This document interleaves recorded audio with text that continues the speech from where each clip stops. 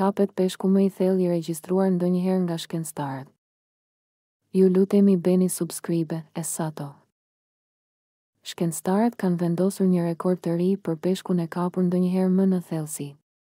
I njohur si një lloj peshku kërmilli, ai u filmua duke notuar në tetë pikë treqind e tridhjetë e gjashtë më në kanalin Izuogasara, në jug të Japonisë.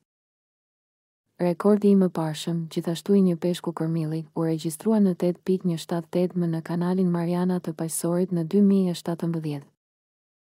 Profesor Alan Jamieson, i cili është një studiues në Universitetin e Australisë Perëndimore në Perth, tha se ai beson se peshku mund të jetojë në thellësi të tilla në Kanalin Izuogasara për shkak të ujërave të tij pak më të ngrohtë.